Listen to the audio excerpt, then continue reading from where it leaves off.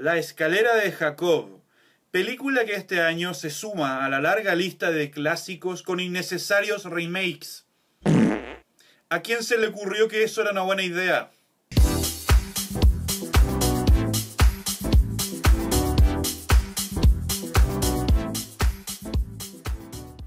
Jacob's Ladder, la escalera de Jacob, de 1990.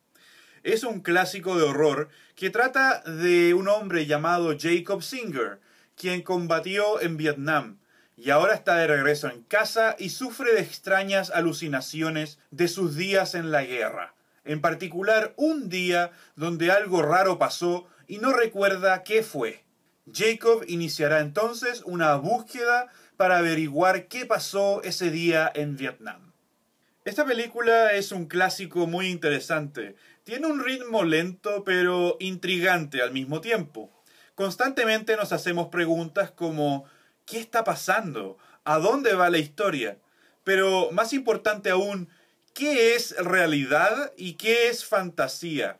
Porque Jacob empieza a ver criaturas en la ciudad criaturas que lo acechan y tratan de atraparlo. A veces ve monstruos y a veces ve gente con deformidades extrañas, que te dejan con cara de...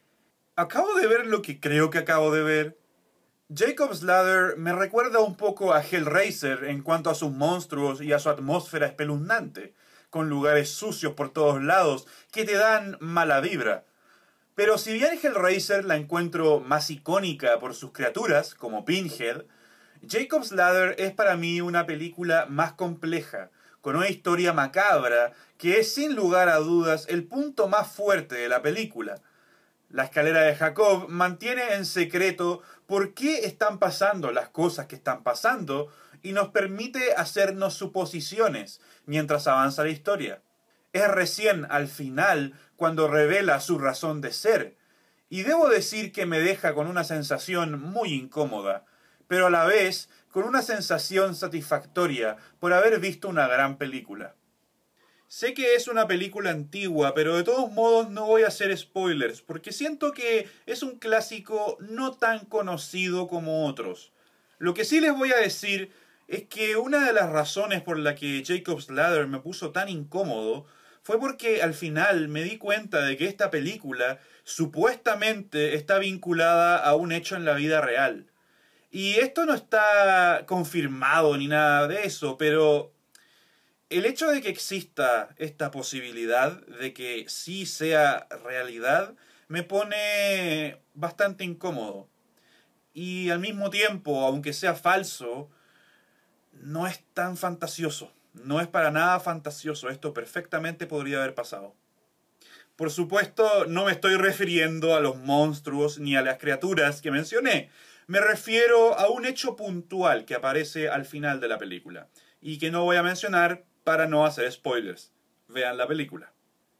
Como dije, la atmósfera es espeluznante. Las escenas en el vagón del metro, en la estación, en los callejones y sobre todo en el hospital me ponen nervioso y no las voy a olvidar jamás.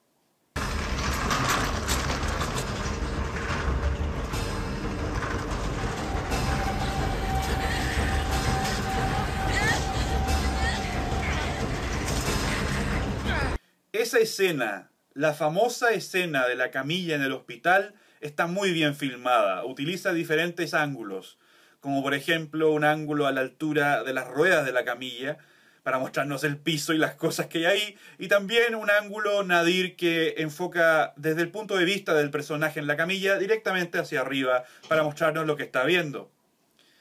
Esta secuencia fue tan famosa, tan icónica, que inspiró a uno de mis juegos, de mis sagas de juegos preferidas de todos los tiempos, Silent Hill.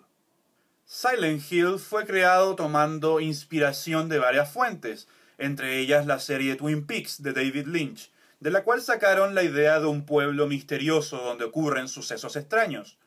Y de Jacob's Ladder, Silent Hill sacó la atmósfera espeluznante, las rejillas que abarcan paredes y techos, y que tienen cosas asomadas del otro lado, y también sacó la idea de que el protagonista del juego viaje por Silent Hill y a medida que avance vaya enfrentándose a sus propios demonios, a sucesos que han ocurrido en su vida. Y esto es lo mismo que ocurre en Jacob's Ladder. En Silent Hill 2, mi juego preferido de esa saga, el protagonista se llama James Sunderland. JS, sus iniciales, las mismas iniciales del protagonista de Jacob's Ladder, Jacob Singer. Esto no es casualidad, es un guiño hacia la obra que inspiró el juego, que viene a ser Jacob's Ladder. En fin, si no han visto la escalera de Jacob, este es el mes ideal para que lo hagan.